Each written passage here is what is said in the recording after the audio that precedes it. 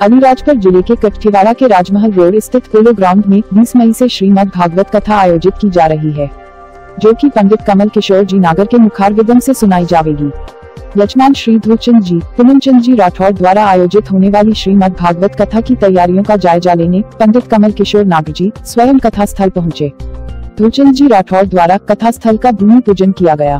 कठिवाड़ा के नगर वासियों को दूसरी बार कथा श्रवण का सौभाग्य प्राप्त होने जा रहा है। जिससे धर्म प्रेमी जनता में खुशी का माहौल है। कटकेवाड़ा से भरत राठौर की रिपोर्ट।